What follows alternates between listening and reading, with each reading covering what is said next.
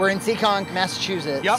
which is right before Providence. A location that I have been to many times, but very infrequently as the same restaurant. It has been through so many different iterations that I can't even remember them all. You know, how there's some places where no matter how many iterations there are, it'll always be the original to you. Yes, yes. For me, that was East Side Mario's. That's right. For past and such with a New York touch spaghetti that's really a ball.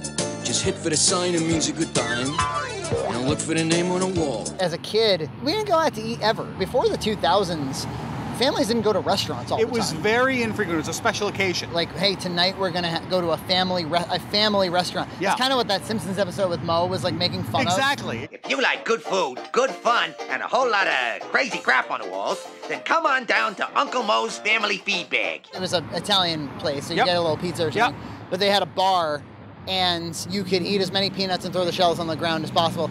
And when we were waiting for our food, they would let my sister and I go walk around and wander around the bar, and we were so scandalized by, like, you can just trash the place with peanut shells. Yeah, it, it, I never felt comfortable doing that in any of the restaurants that allowed me to do it. So then, what was it after East Side Mario's? It became a place called, um, I think it was Buca di Beppo, something like that. It was also Italian. It was actually a little more upscale. It was pretty good. I could be wrong, but I think that there was another Mexican restaurant here before it was this particular there absolutely was. And now we have uh, Rebecchio.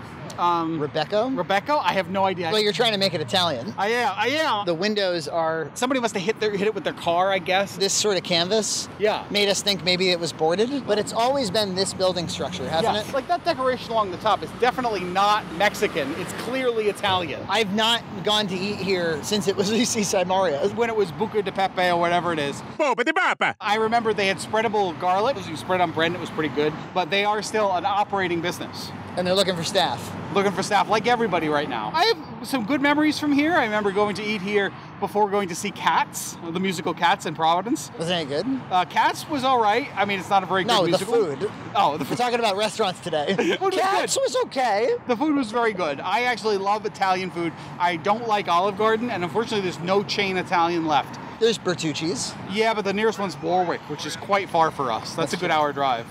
Hey, babe. You want to be with me? Yeah, I want to film with you. Do you like ravioli, pizza, spaghetti, uh, or tacos? Spaghetti! Hi. What's your favorite Italian dish? It's gotta be a fettuccine alfredo with an add-in, like a chicken. There's a place we used to go to called Noni's that actually had spicy pasta with a kind of weak alfredo, but that was actually one of my favorites. It was called like a spicy rigatoni. Spicy rigatoni with alfredo. I recently had at this Italian place in Cape Cod, like a seafood alfredo. Oh, had- I love a had- seafood alfredo. It had lobster tail, Yep, scallops, and chicken. So there you go. Maybe I'll try the Mexican place at some point. maybe, but maybe not. Somehow we keep skipping by this. Maybe it's because of the East Side Mario-ness of it all. Yeah, it, too many memories locked up. You want Italian, you're not gonna get Italian, you're gonna be denied. At East Side Mario's, there's always more to make you sing. Hey, bada boom, bada bing. So I just Googled it. Mm-hmm. Permanently closed. It is? Yep.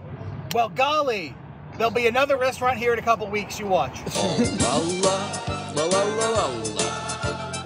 Hey, it's a wonderful thing. Oh la la, la la la la la. East Side Mario's, East Side Mario's, hey, bada boom, bada bing.